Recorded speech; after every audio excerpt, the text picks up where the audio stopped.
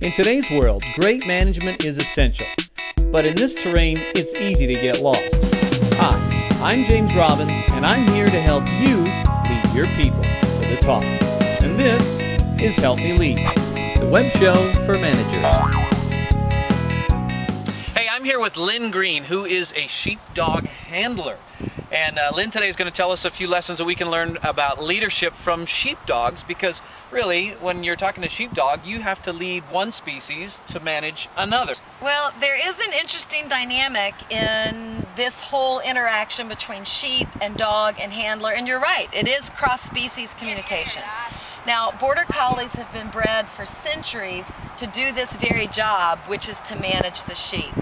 And the number one mistake that I see handlers make, that I myself have made, is to overhandle, to overmanage. And that's the thing I have learned is that respect is an integral part of this partnership. Right there, that I have to respect that my dog can handle the sheep, my dog has to respect the sheep, and my dog has to respect me, that I am leading this whole enterprise in a certain direction.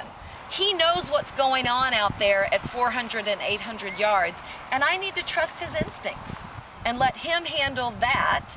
And then when we are doing some some maneuvers that the handler is supposed to direct, he needs to trust me and trust that I have a direction that we're going towards. So let's say you told me all the commands to say, and I just went in and started telling your dog what to do. Um, would they perform the same?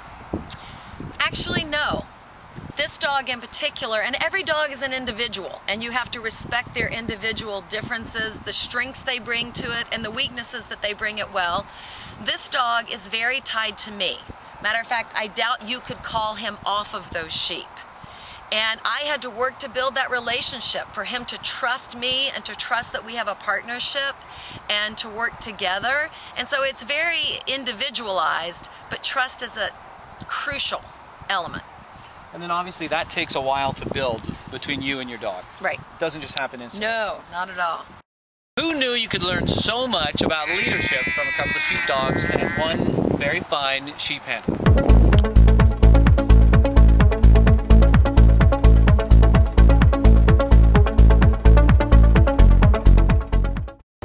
There's a movie out called Hachiko, and it's a true story about a dog in the 1930s in Japan who faithfully waited at the train station every day for his master to come home from work.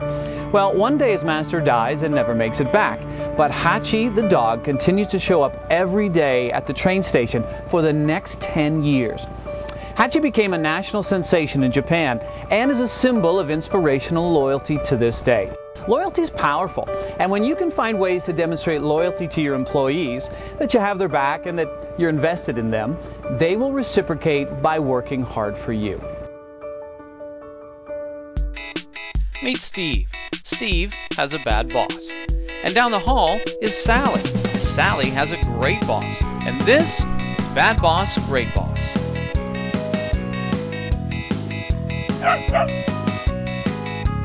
Steve's boss is having a bad day. Williams, have you seen these numbers? Have you seen them? What are you doing over there in your department? You know, if you can't figure this out, I'm going to have to find someone who can put a decent report together. When Steve's boss has a bad day, everyone like feels it.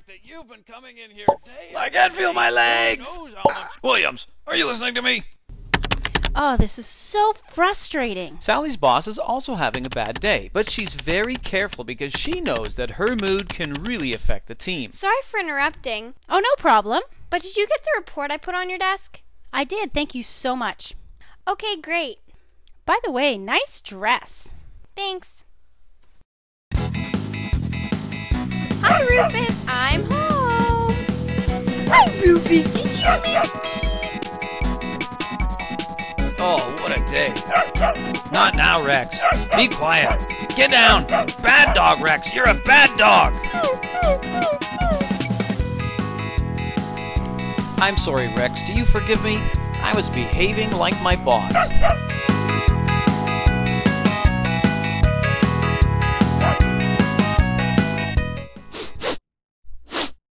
What's that smell?